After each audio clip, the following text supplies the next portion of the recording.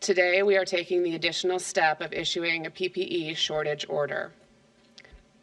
It requires canceling all other elective and non-urgent procedures and appointments, reserving PPE for healthcare provision, and having patients cover their mouth and nose with a barrier other than a surgical face mask. And the third step in the order, if PPE use continues to outpace supply, is to implement crisis capacity standards.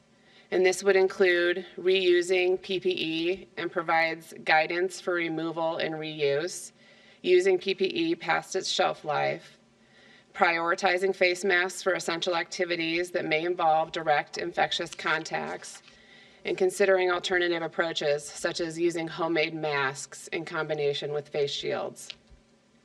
We understand the issuance of this order may be unsettling, but due to the global shortage of PPE supply, we've determined that now is the time to take this action.